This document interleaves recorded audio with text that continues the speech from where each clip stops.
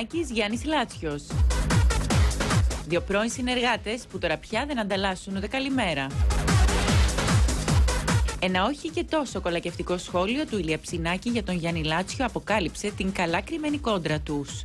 Dancing with the Stars, την άποψή σας, πώς είναι φέτος, με την αλλαγή παρουσιάστριας, όλη αυτή τη φημολογία ότι η Δούκης αντιγράφει τη Ζέτα Μακρυπούλια, δεν την αντιγράφει, το παιχνίδι που κάνει με- μαζί με τον ε, κύριο Λάτσιο.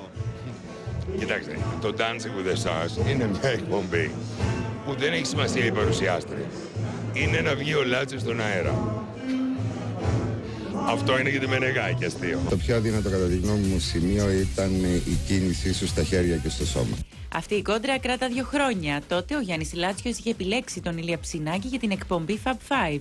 Οι επεισοδιακές διαφωνίες που είχαν οι δυο τους για το περιεχόμενο της εκπομπής και η ευνηδιαστική απόλυση του Ηλία Ψινάκη από τον Αντένα είναι οι λόγοι που τους έκαναν από φίλους εχθρούς. Ρε Ηλίας, σ' αρέσει καμιά εκπομπή ή σε όλες είσαι έτσι, «Μμ, δεν μ' αρέσει και... Η δικιά μας και το Dancing on Ice. Ξαφνικά βρεθήκαμε Δεν τώρα καταλαβαίνω. σε, μία, ε, σε ένα σοου το οποίο έχει χιλιάδες... Σοου κι εσύ.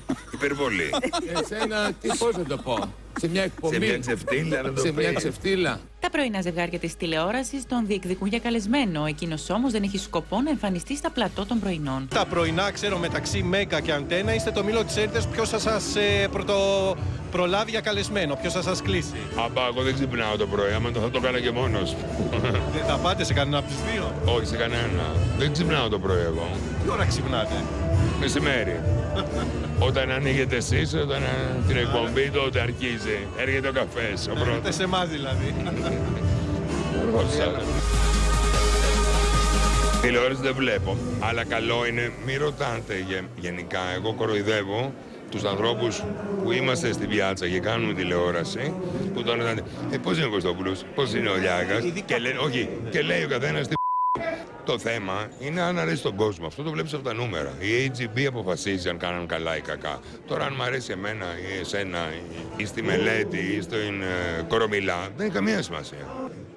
Η AGB αποφασίζει. Ο Ηλίας Ψινάκης ετοιμάζεται για δυναμική επιστροφή στην τηλεόραση. Ακόμη όμως δεν αποκαλύπτει τίποτα για τη νέα πρόταση που του έγινε. Επαγγελματικά, τηλεοπτικά θα σας ε, ξαναδούμε; Υπάρχει μια πολύ ωραία σκέψη που μου είπαν συμπτωματικά πριν λίγες ώρες που μπορεί να την κάνω, ναι. Εκπομπή ή να συμμετάσχετε σε Να κάποιο. ρωτήσεις τον Καλημέρη. Ο Καλημέρης μου την έκανε την προτσέλα. Εγώ δεν λέω κάτι άμα δεν έχει τελειώσει. Ο Θέμης την ξέρει, αλλά δεν λέει τίποτα. Ο Μάλης εννοώ. Τον τελευταίο καιρό ο ίδιος βοηθάει με τον δικό του τρόπο όλους όσους έχουν ανάγκη από ένα πιάτο φαγητό. Εγώ ζούσα σε ένα παράλληλο κόσμο, στην κοσμάρα μου, πάρα πολλά χρόνια. Ξύπνησα με την εμπλοκή μου στο Δήμο, που πήγαινα στο Δημαρχείο και έβλεπα την κατάσταση. Γιατί εγώ δεν είχα πρόβλημα ποτέ. Και δεν το φαντάζομαι. Άκουγα ότι υπάρχει πείνα. Α- άλλο να τα ακούς και άλλο να, να το δεις. Το θέμα είναι οι άνθρωποι που πεινάνε, τουλάχιστον πρέπει να φάνε. Δηλαδή ο κάθε άνθρωπος δικαιούται τουλάχιστον να πει να το φάει. Καλά ρε συντάκτη.